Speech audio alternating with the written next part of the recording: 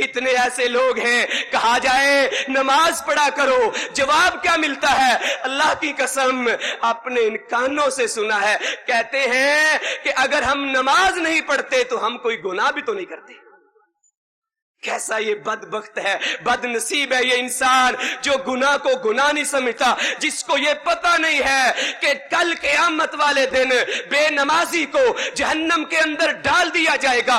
कायनात के इमाम नबी मोहम्मद सल्लल्लाहु अलैहि वसल्लम ने नमाज़ और नमाज़ को छोड़ने वाले को काफर करार दिया है। ये गुनाह को गुनाह नहीं समझता। बिल्कुल वही रवश इख्तियार किए हुए है, जो अब्दुल्ला बिन उबई की और उसकी कंपनी के, उसके ग्रुप के लोगों की थी। रब का कुरान कहता है, उठाइए सुराय बाकारा को, ऐत नंबर ग्यारह को, व इजा की लालाहुम ला तुफसिदु फिल अर्ज़। जब इन मुनाफकों से कहा जाता था, फसाद ना करो, फितने ना फैलाओ, लड़ाई झगड़े की फजा पैदा ना करो, इंतशार बर्पा ना करो। जब इन इनसे कहा जाता था, ला तुफसिदु फिल अर्ज़। वो क्या कहते थे? जिस तरह के आज के कलमा पढ़ने वाले मुसलमान कहते हैं, क्या कहते थे? कहते थे, कालू इन्नमा नहनु मुस्लिहून। हम गुनाह करते नहीं है, हम तो भलाई चाहते हैं, हम तो अच्छाई चाहते हैं। हम तो ज़मीन के लोगों के अंदर इसलाह का काम कर रहे हैं, हम तो कोई बुराई करते नहीं है। और यही आज का कलमा पढ़ने वाला कहता है, रोजा छोड़ रहा है, गुनाह समझता ही नहीं है। नमाज़ छोड़ रहा है, गुनाह समझता नहीं है। और सूद इसके खून के अंदर इस तरह सरायत कर चुकी है कि यह सूद को गुनाह समझता ही नहीं है।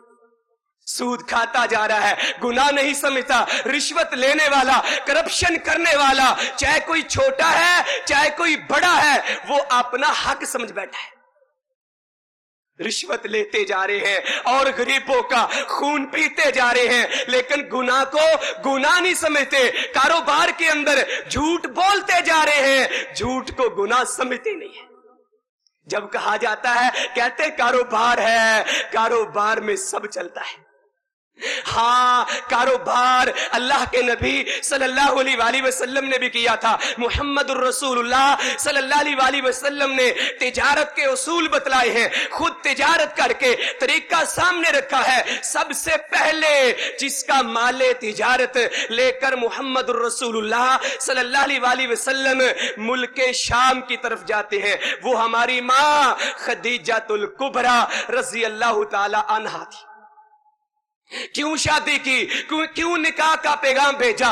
एक यतीम है, एक गरीब है, जो उजरत पे काम करने वाला है। उससे पहले बड़े बड़े सरदार बड़े बड़े खाते पीते, निकाह का पैगाम भेज चुके हैं। लेकिन हमारी माँ ने इनकार कर दिया। जब मोहम्मद सल्लल्लाहु वसल्लम की तिजारत को देखा, ईमानदारी को देखा, सदाकत को देखा तो खुद निकाह का पैगाम भेजा। क्यों? मोहम्मद रसूलुल्लाह वसल्लम का फरमान है। सही त्रिमजी की हदीस है। सच्चा और अमानतदार ताजर कल कियामत को अंबिया और शुहदा के साथ होगा। मैं कहता हूँ, इसके बगैर कारोबार नहीं चलता। अल्लाह की कसम, झूठ बोलता हूँ मैं। और अगर कोई ये बात करता है तो वो नबी सल्लल्लाहु अलैहि वसल्लम के खिलाफ चलता है, सुन्नत की खिलाफ वर्जी करता है। लेकिन कोई भी इसको गुनाह समझता नहीं है।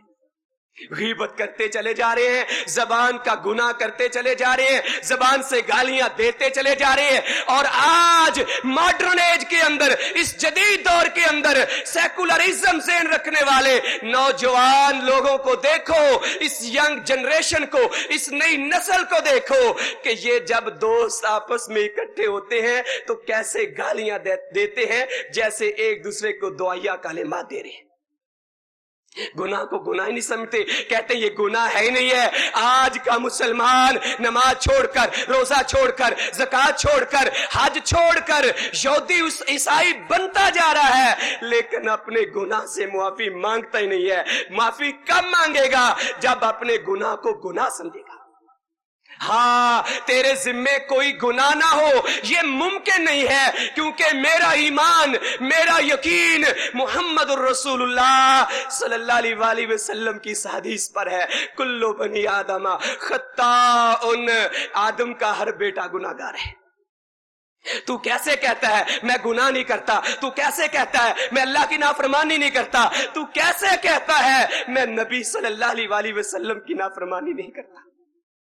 गुनाह करते जा रहे हैं। हाँ अगर तुम्हारे खाते में, तुम्हारे जहन के मुताबिक पहली बात तो है कि तुम्हारा ये कहना कि मैं गुनाह नहीं करता, मेरे जिम्मे कोई गुनाह नहीं है, ये बात ही गलत है। हाँ मैं आपकी बात एक मिनट के लिए मान भी लेता हूँ। कोई गुनाह नहीं। तो फिर पढ़िए मोहम्मद सल्लल्लाहु वसल्लम की ज़िंदगी को, रातों को लंबा क्याम करते हैं। कितने गुनाह किए थे। मेरे नबी मोहम्मद सल्लल्लाहु वसल्लम ने लंबा क्याम करते हैं। सही बुखारी की हदीस है, पाँव सूज जाते हैं, वरम पड़ जाते हैं। हाँ आज रामाजान आया, क्यामुल कितने लोग करते हैं? अगर नज़र दौड़ाई जाए तो बूढ़े बाबे क्याम कर रहे होते हैं, नौजवान बैठ के गप्पे लगा रहे होते हैं। अल्लाह अकबर। अल्लाह के नबी सल्लल्लाहु अलैहि लंबा क्याम करते हैं। अम्मी आयशा रसी अल्लाह तला कहती हैं, आपके जिम्मा तो कोई गुना भी नहीं, मुझे सोचना चाहिए, गौर करना चाहिए कि मैं ये कहता हूँ कि मैं कौन से गुना करता हूँ। मोहम्मद रसूलुल्लाह सल्लल्लाहु अलैहि वसल्लम की सीरत को पढ़िए, उनको अपना आइडियल बनाइए, उनकी ज़िंदगी को उस हसना बनाइए। गुना भी नहीं है, फिर भी लंबा क्याम है। अम्मी आयशा कहती हैं आप इतना लंबा क्याम ना किया करें। जवाब क्या दिया? ये नहीं कहा मेरी बीवी, तू मुझे अच्छा मशुरा दे रही है अच्छा कल से क्याम छोड़ दूँगा।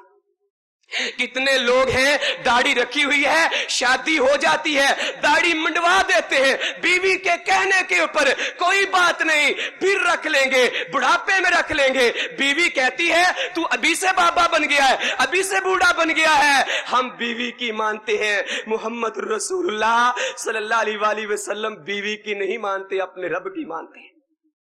कहा, अफाला अकूनू, अब दन शकूरा, चाहे मेरा गुना नहीं, चाहे मेरी गलती नहीं, क्या मैं अल्लाह का शुक्र गुजार बंदा ना बन जाऊँ? हाँ मैंने तेरी बात मान ली, एक मिनट के लिए कि तेरे जिम्मा कोई गुना नहीं, फिर भी प्यारे नबी सल्लल्लाहु अलैहि वसल्लम की ज़िंदगी को रोल मॉडल बना ले।